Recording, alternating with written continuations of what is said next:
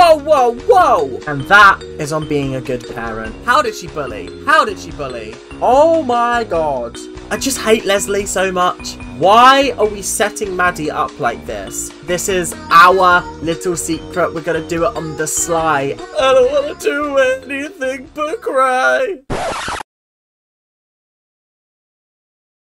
Hello guys and welcome back to Dance Mums. And today we are on season 2 episode 17 it's called Maddie's Got a Secret which I can only imagine means that we're just going to have more shenanigans. Abby's going to be playing the game to make sure that Maddie gets another victory. Anyway before we get into this episode I just want to say thank you guys for the support and love on the channel. We're on our way to 3,000 subscribers. Woo!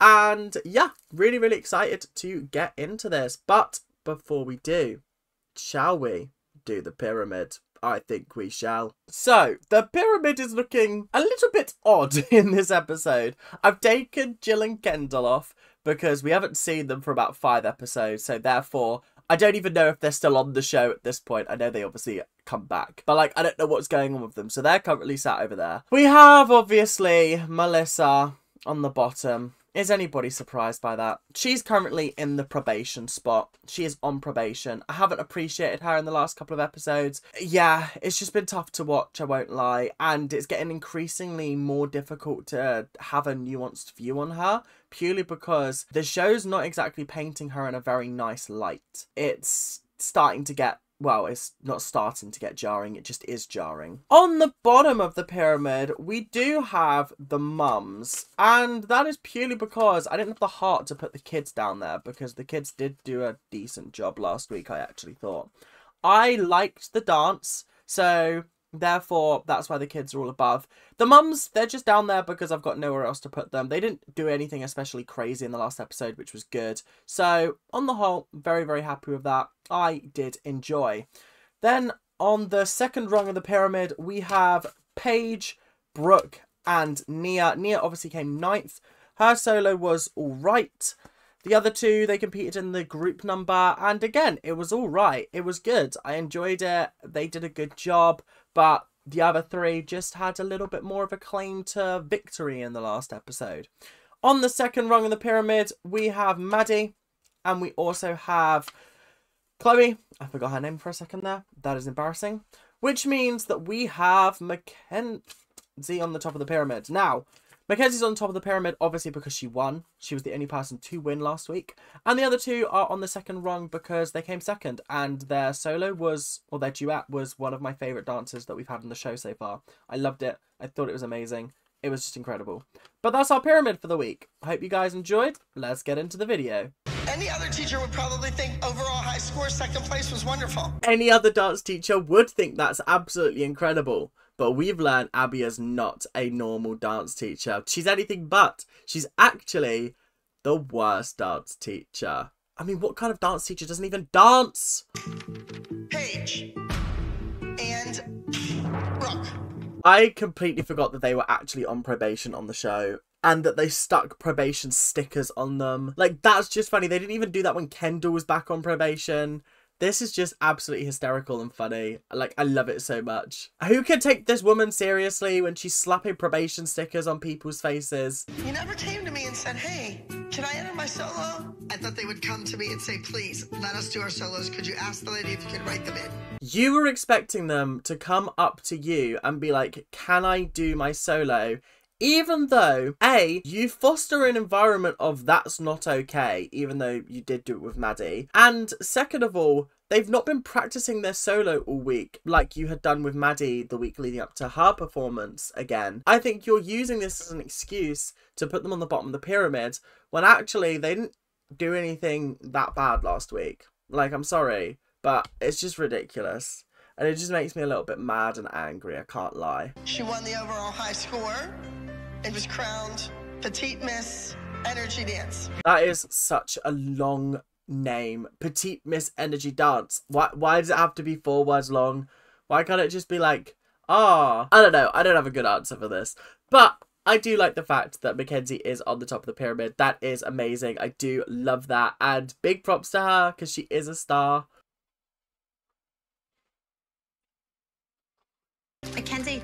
Is not on the top of the pyramid. She's usually down in the bottom row. Could you have turned your nose up at the bottom row anymore, Melissa? Like, she's often at the bottom row. sorry, sorry, the bottom row. Your solo is entitled What Goes Around Comes Around.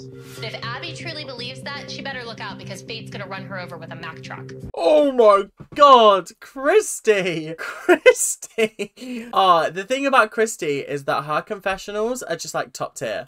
Every single time she steps into the confessional booth, it's like, right, let's work some magic and let's get some good confessionals for the show to use. She's like, do you know what? If you're going to take the piss out of me during filming, might as well make my confessionals good.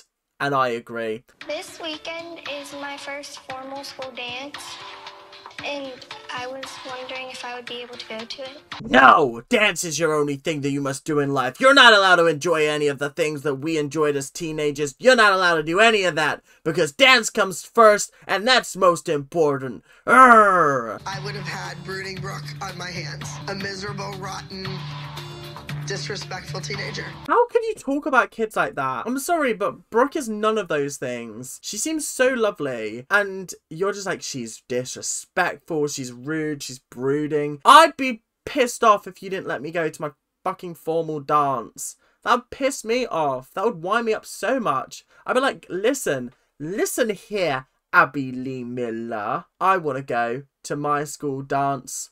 I never got my prom because of COVID.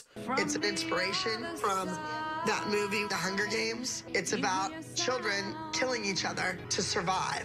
Oh my god. I swear there's a rule in the Hunger Games. I could be wrong, but I'm sure you had to be 12 or over in order to participate in the Hunger Games. I'm fairly certain nobody in this dance is over the age of 12. Therefore, why are they killing each other? I want you to go get Payton. Do not make a big deal out of it. Just go in and tap her on the shoulder and say, come with me. Okay, I'm not uching because of Payton. I'm uching because that means Leslie's gonna be in this episode. Ah. Oh no! I thought we were free of her. I thought we were free of the misery and anguish that she brings. Oh no. Brooke, I take it back. Don't go to your formal dance. Please stay and compete in this competition because I actually can't put up with Leslie for the week. I can't put up with her for a whole episode. That will actually wind me up. Actually annoy me. I can't imagine that she would go back and invite her again to the group when it didn't work the first time. I just can't get over the fact that Abby treats Payton as like, oh, you're our substitute. Like, in- just in case we need anybody else, we'll bring you in because we know you're fame hungry. And we know that your mum's fame hungry and they want to be on the TV. So, yeah, we will get you in this group because Brooke's gone. There has been rumors going around the studio that she's bullying everybody. Wait, what? Listen, I know she played a bully, but that doesn't mean she had to become one. Now, obviously, I don't know whether these are true, false, they're rumours going round. So, like, let's be honest, teenage girls can be bitches.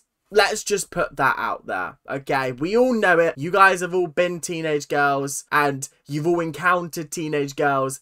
They could be catty, they could be nasty, they could be bitchy. I've encountered them. I was friends with some of the best ones. I just feel like it's just a very teenage thing. Everyone turns into like little bitches and like just annoying people and they go through that phase and then most of them get out of it by the time they're like 17, 18. I want Brooke to go to her eighth grade farewell dance because I want Brooke to be a normal kid. And that is on being a good parent. Because you know what? When you let your hobbies overtake your life, then your hobbies no longer become something that you enjoy, they become something that you dread. And this is the thing with like my performing arts when I was growing up. I did it.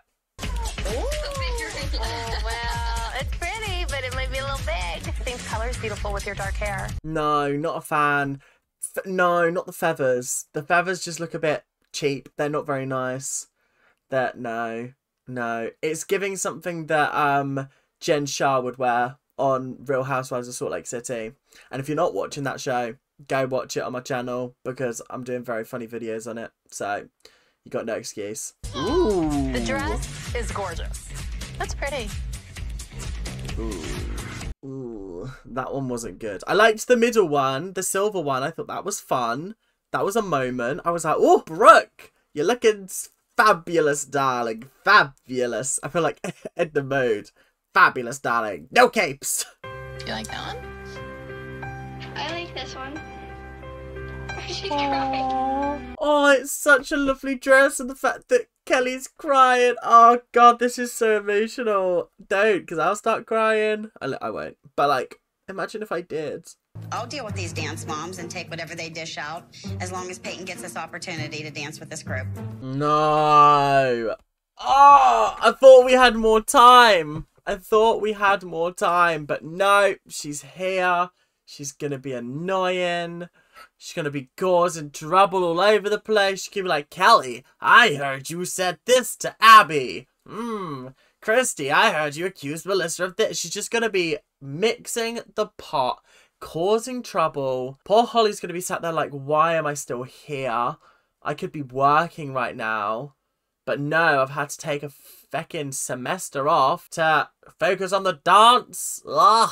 I really leery to tell Abby that Payton hurt her finger the night before during rehearsals. During rehearsals, this sounds like an Abby Lee Miller lawsuit on the way. What do you mean she hurt her finger? I need more information. Because, like, when it's, like, bandaged up and taped up like that, surely it's not broken. It wouldn't be broken, right? No? I'm not sure. Well, then she's gonna have to suck it up. If she has to take it off, she'll take it off. Go get ready. Get warmed up. I hate everyone's reactions to like injuries being like, oh, just suck it up. It's fine. Just suck it up. This is how you cause permanent injury to yourself. Abby has a tendency to typecast people. Last time, Payton was the bully. This time, she's hunting children. Actually, when you put it like that, Christi, is is Abby making a subtle comment about Payton and her behavior in the dance academy? Like that can't be by accident, surely. Like surely this can't be by accident. You told Christi and not me. I didn't want you to yell at her. So you go and tell other people before you tell me? Because funnily enough, look how you're reacting. Immediately it's like, how how did she bully? How did she bully? You you're constantly on the defensive and it doesn't make people want to tell you anything. Interesting that Payton's been bullying Maddie. That's interesting. I didn't expect that. That that's one thing I didn't expect. Bullying, if you know what the word means, what? It's an imbalance of power. So if you're using your power in a way that's unbalanced, like a child who might be six inches taller, being more aggressive, even verbally, that would be considered bullying. School her because you're forgetting that Holly works in a school. She knows what bullying is, and if she's defending Melissa, then yeah, it probably is bullying. She's not gonna be throwing around the B word for nothing. I'm, I don't want to get involved. I don't want to That's get your answer for everything, isn't it? Guess what? You got yourself involved when you told somebody else something. Something I'm so sick of Christi She's a great sitting up here trying to belittle and put my daughter down. Whoa, whoa, whoa! How did this turn from like Melissa going, I don't want to get involved, to you having a go at her, to then you having a go at Christi? How's Christi got anything to do with this? And obviously she was the one that Melissa told. How has fucking Leslie been up in this room for 10 minutes and she's already caused a raging argument because she's just not willing to accept that her child might have just been a little bit nasty to the kids? She's a good girl. Payton is a good girl. You're damn right. As good a girl as you. your daughter. Listen, Shut your face. Don't talk about my daughter. This is what I mean by she's just so vile. Like, actually vile. Like, what do you mean, shut your face, stop talking about my daughter? It happens with Cathy a lot, in the sense of like, they'll be like, you're such a horrible person, Christi. You're such a horrible person. You're such a horrible person. And then Christi will like clap back, and then I'll be like, I can't believe you said that. I can't believe you said that. I can't believe you said that. And I'm like, but you've just spouted all of this nasty, horrible stuff to her. She's defending herself, and you tell her to shut up, or you tell her that's not acceptable. How dare you say that? Like, get a grip. If you can't take it, don't dish it out. I don't like you. Well, you're not my friend. You're no one's friend up here. No one wants you here, Leslie. Oh, guess what? I'm here. Guess what? we know. This is so toxic and so nasty, but also like, I just hate Leslie so much. Like, I actually do. Le- Leslie's got zero fans, right? She's got l- zero fans. No fans at all. Surely. None. Nada. Zero. Nil. I don't I don't know any other words for zero. So, yeah. But we're just gonna have to move on because what do you mean this argument's still going on? It's the largest competition in the United States. Wait, is the largest competition in the United States No way! You definitely haven't mentioned that a hundred thousand times this episode, and we're not even halfway through. Chloe's is called What Goes Around because I really do think Chloe needs to learn that lesson. What goes around comes around. And when her mother's evil and disrespectful to people, it's to come around. What? Why is she projecting this onto Chloe? Why? Because Chloe is like one of the nicest children ever, and she needs to learn that what goes around comes around. What a vile, vindictive woman this is. So Abby calls Maddie in and says, Maddie, I want you to come in and rehearse this morning. I have no idea why. Anybody else seeing this? Anybody want to jump into the comments and defend Abby, Melissa, Maddie, and be like, oh, oh, she doesn't get extra practices. She doesn't do any extra practice that the other girls don't get. She's not doing any extra practice at all. Not a chance. She doesn't get called in in the morning to do extra practice. That may be fair for, for some weeks, I, I agree. You can't say it never happens. And if it's happening and they're showing it on TV, then what about all the times that it hasn't been caught on camera? It hasn't been shown on TV. You ever think about that? I'm always looking for more opportunities for Maddie. Star Power is so big that they've split up the competition. No, no, she's not she's not doing two different dances at two different conventions and they're gonna like make it secret and they're not gonna find out and then the mums are gonna get told and then it's just gonna be a whole fucking palaver. Why are we setting Maddie up like this? Do you understand, Melissa, when the mums are saying they are making our children turn against your daughter. They're making us dislike you because they are giving your child opportunities that we don't get. When is this going to dawn on you that yes, this is good for your daughter, but it's actually completely detrimental to her? I'm trying to do something that I've never done before. Having a kid in two titles in two hours, take advantage of every opportunity. And it's just so much pressure on Maddie, and this is how you cause kids to crack. Do I think she's gonna do it? Yeah, probably. This is just monumentally unfair. Like, monumentally. There's no part of this that makes me go, oh yeah, this this is totally okay. Yeah, I agree with this. So I think maybe do the cry number.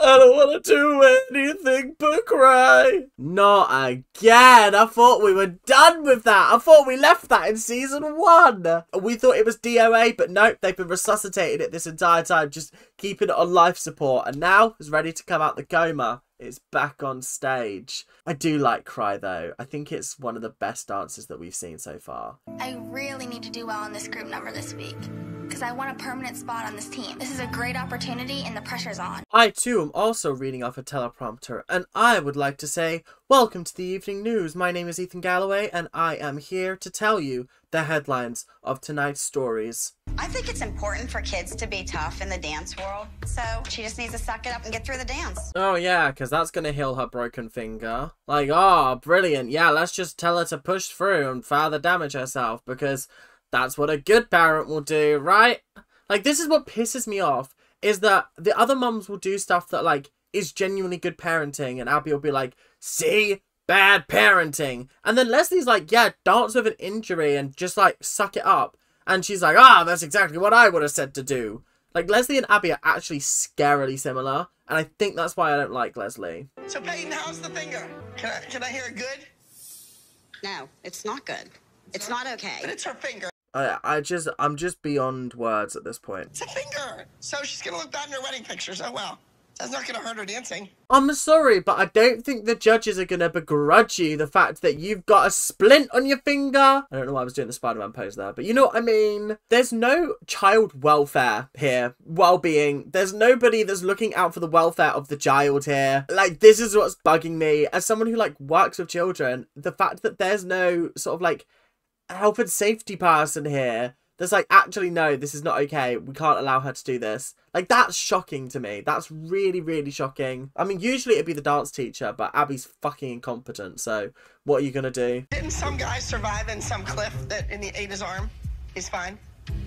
There's your answer. I don't think he's fine. I'm fairly certain that he was traumatized. I mean, the guy lost his arm, so I feel like that's bad enough. What I've just been reading is actually kind of crazy. Like, he waited until it had decomposed and then broke the bones because it was easier to do. I was like, rah, that is craziness. I'm very happy with my decision to send Brooke to the school dance. She'll do another competition next weekend. You can't ever do your eighth grade farewell again. I completely agree. There are some things in life that you'll be able to do again and again and again, but this is one of those once in a lifetime things, and I completely agree. I don't begrudge Kelly at all for doing it. I would have made the exact same decision. Do not come back to this dressing room and think that you were fabulous and everybody else screwed up. Payton's been very vocal about the fact that she was set up in that moment. Producers told her what to say, and then it caused a whole kerfuffle. It wasn't even about like the people in the room. It was about the other competitors that she saw on in the competition. But this is just mean spirited. Why freak her out before she comes goes on stage? Like what? Why are you doing this? Why are you psyching her out? Because I'd be going on stage thinking, "Fuck's sake! Why has Abby got in my head now?" I'm steeping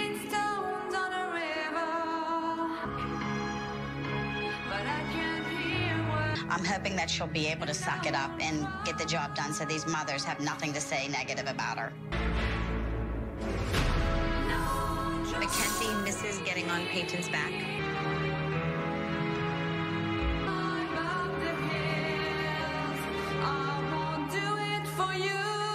I started that number and I was like, ooh, this is stinky. This is kind of stinky. But it got so much better as we went throughout. And I was, again, I was thinking halfway through, I was like, I'm not really getting a story from this. And then they started do- dropping dead one by one. And I was like, ooh, this is fun. This is exciting. This is actually quite good. I think I'd give that an 8 out of 10. I think Payton did very well. She played the role very well. The mishap with Mackenzie not getting on her back, I actually think worked in her favour because she got up there and it was like she immediately fell down and then obviously she was dead. So I think it played into it a little bit. Payton dancing through all that pain, you can see on her face that it's like, Ugh. But I wonder how much of that was pain from the finger or just her playing the character. Because I think it worked with the sort of ness of the character. Yeah, I'd say this was a solid 8 out of 8. There were some nice tricks, there were some nice jumps. The way that she killed all of them was very interesting and fun. On the whole, a good dance. I was impressed, I gotta say. Like like I said at the start of this episode, I'm gonna shit talk the idea and then I'm gonna watch it and I'm gonna be like, yeah, it was actually quite good. Fine, Abby, fine. But yeah, it was quite good to be fair. tenth of a point separates first and second place. How do they even have tenths of a place or tenths of a point? What is the point of that? Is it like an average score across the whole board and then they find like the aggregate or the average or whatever? Like, is that how they do it? Because I just assumed it was like, oh, like 500 out of 600, and there are six judges, each one of them scores you out of 100, that kind of thing. But like, how are we getting points here? Like, point one. Eh, eh, 95.1 like what what is this about what is this explain it to me i don't understand Entry number one, 69, the Huntress from the Abby Lee Dance Company. right you can't begrudge them a tenth of a point. That's ridiculous. That is absolutely categorically ridiculous. A tenth of a point? Yeah i'd be fucking fuming. But also what more could they have done? What could they have done to get that extra two tenths? Do you know what i mean? Oh god here comes thunder Most normal people would think that would be something to be celebrated, but in Abby's mind, that's going to be like the biggest devastation of the world. The thing is, though, it really isn't. And that's the frustrating part. I wasn't cocky about my performance, and I showed Abby that I could be humble and a great team leader. I just hate that we're having to even do this in the first place. Do you know what I mean? Ah, she's doing exactly what Abby told her to do. She's playing the game fair enough. Good on you for playing the game because that's what you have to do at the end of the day. However, I just hate that we're even having to be like, oh, how do you think we did? And then she's going to be like, actually, I thought you were shit. I thought you were dreadful. I thought that's why you didn't get that one tenth of a point because you you are you hooned the gaff up. You were honking. You smell everywhere. I think I just got nervous before I went on stage because I think I felt like I didn't have enough practice and I learned it in a short amount of time. Are we surprised? Not even slightly. Are we surprised she's having a little bit of a panic before she goes on? No, because this is an exorbitant amount of pressure to put on a child. What do you mean learn a dance in three days? That's craziness. That's actual craziness.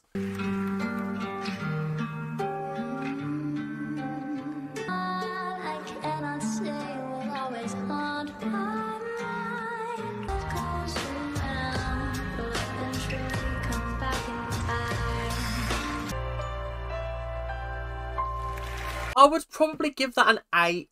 I'll be honest. I think the reason I would give it an 8 is because I hate the fact that every single one of her feckin' numbers starts with her on the floor and then doing like the ugh, as she like arches her back. I just I it's just overused, it's overdone. I'm bored of it at this point. There were a lot of things that I noticed in there that she's done before. I'm just bored. And Abby, your choreography is tired, it is boring, and as Christi said during this performance, the choreography is subpar. She's doing her best with what she's been given, but like it's just boring, it's bland, and it's not interesting to watch. And that's how I'm starting to feel about a lot of the solos on this show. Is like they're just not being given good choreography. And it's a shame. And it seems to be Chloe that gets like the worst choreography. Not the worst. Maybe not. I think Nia gets the worst choreography actually. Like the the uh, choreography in the last episode was fucking awful. But it is tough to watch sometimes, and it's tough because like I really want to support her. Dancing's amazing. The choreography is not. Like I'm far, like a star. Am I stuck here forever?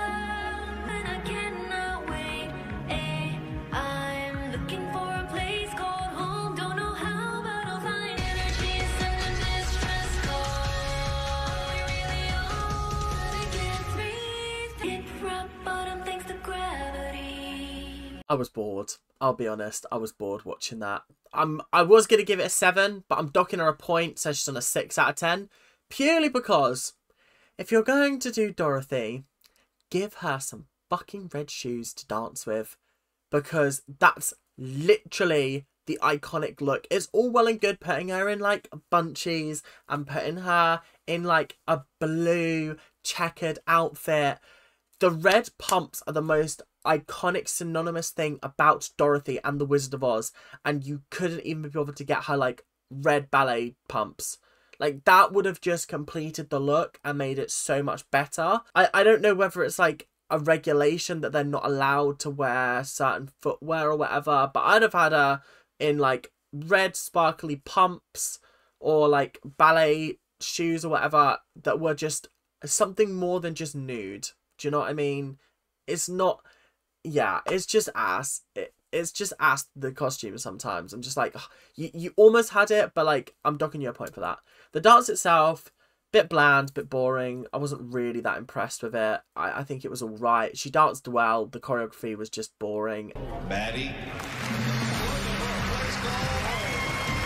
Is it just going to be week after week of Maddie winning from now on? Because I am getting a little bit bored of that.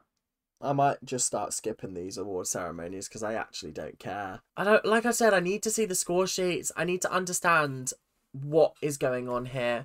Because if they're scoring them, I want to see the grades. I want to see, like, okay, Maddie was higher in technical, like, ability than Chloe. Okay, fair enough. But, like, at the moment, you just tell me that she won. I'm like, how? How did she, how did she win? Because I, I need to know. I'm taking her over to the other competition, and she's gonna do cry.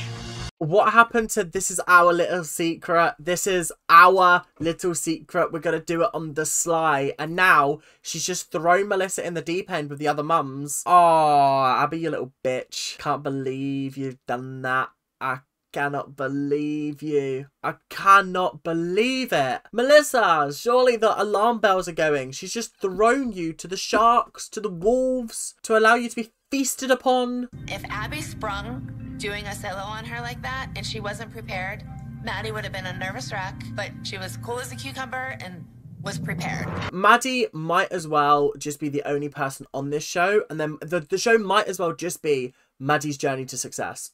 That that literally is all it needs to be because the other girls are surplus to requirements at this point. It's not about oh my child never gets any opportunities. It's my child never gets any opportunities, but Maddie does. What do you mean she's getting to compete in two title races in one day? And the second one, the second one that she's doing is a dance that she is a pro at and has won countless trophies and awards for. It's like the odds are stacked in Maddie's favour. Your daughter was taught a solo. She got a beautiful costume, just like Maddie did.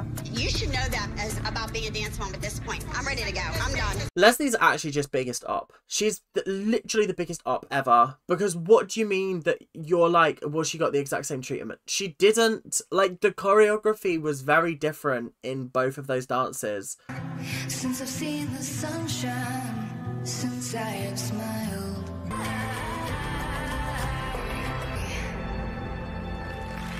I'm not putting that on the pizzazometer because I don't think that's the best performance of Cry that I've seen. Might have been the shots they decided to use, it might have been the parts of dance that they decided to use. So I think it was just a dodgy like rendition of it in terms of like what they showed on TV. I'm I'm sure she slayed it. 100% she will. And she's probably going to win because why wouldn't she win two titles in one episode? Because that's just the way Dance Moms is. At the second competition that day, within two hours, that child won two titles at two different competitions. I've, I've, I've got no words. I've got no interest in talking about this. Let's move swiftly along because, uh, yeah, like I said, I, just, I literally have nothing to say about it. I've got nothing to say. Yeah, this episode was a rough one. The covert operation to get Maddie to a second title race is becoming. It's like this. Do you know what exactly what it's like? It's like Abby got exposed for having preferential treatment of Maddie, and now she's like, do you know what? Fuck it. Let's go full throttle. Let's just full send it. Yeah, actually, let's just give Maddie all the opportunities. Who cares? Who cares? Because it's out in the open now. Nobody actually can say anything or do anything. It's like, it just is what it is. Honestly, the way I would be like, right, let's hold a mutiny. We're all walking out.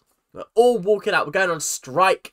We're going on strike. We're just walking around the parking lot with We Hate Abby. Give our children some proper dances to learn. Oh, it's just so ass. It's so bad. It's so shit. But yeah, it is what it is. Thank you guys for watching today. I hope you guys have enjoyed. Make sure to like, comment, and subscribe. I'll see you guys on Wednesday for a brand new episode of Dance Mums. Ugh, is all I can say. It's just ugh. Ugh. But yeah, thank you guys. See you guys later. Keep on ranting, and I'll see you guys later. Bye now. See ya.